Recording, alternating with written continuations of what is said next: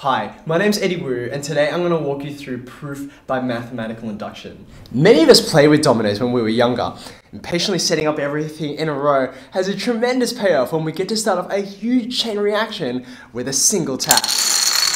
Mathematical induction is exactly the same. Once we establish all the pieces of the argument, they knock each other over in a brilliant demonstration of mathematical logic. And just like a row of dominoes, all it takes is a tap to make induction work. Mathematical induction has three essential parts. We test, we assume, and finally, we prove. I'll show you what I mean with an example. This is the induction question from last year's Maths Extension 1 HSC exam. It's asking us to prove that this statement is true for n equals 1, n equals 2, n equals 3, and so on until infinity. It might seem at first that this would take an infinite amount of time to prove, but the genius of mathematical induction just requires a few lines of working. I'll show you how. First, we need to test that the statement's true for its first given value. From the question, we can see that's n equals 1.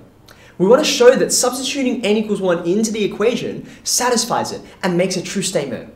Remember to pay careful attention to this first value, which is sometimes called the base case. It's usually n equals 1, but on occasion, it may start at n equals 2 or some other value. Don't just guess, read the question.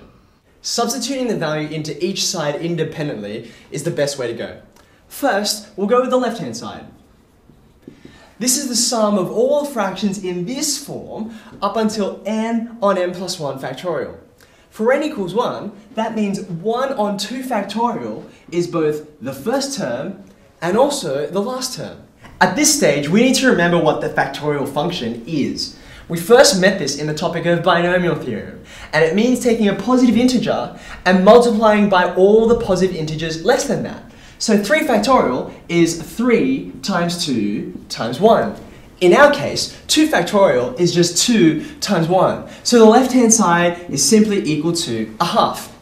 Now we can try the right-hand side, and going through the substitution shows that we get exactly the same result. That means our test succeeded and we can move on to the next stage, assume. What we're doing here is taking the statement and assuming that it's true for a particular value of n.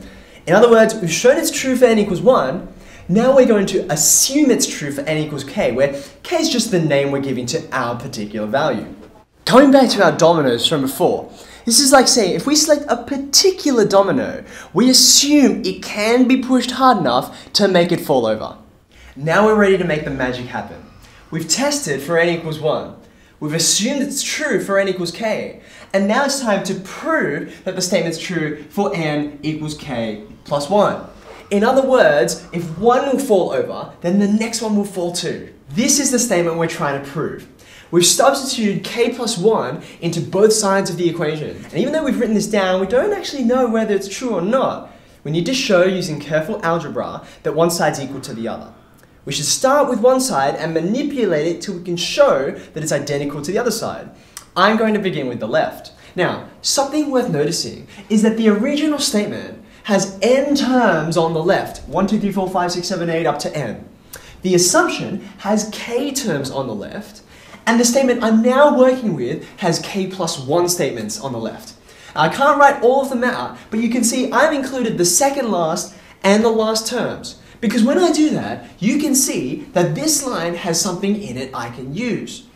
Everything in this line up until k on k plus 1 factorial is included in my assumption. That means I can use the assumption, also called the inductive hypothesis, and make a substitution. Remembering that I assume that these two are equal to each other, I replace one with the other.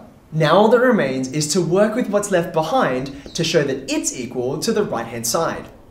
I can use my knowledge of the factorial function to get a common denominator for these two fractions, which then allows me to combine them into one.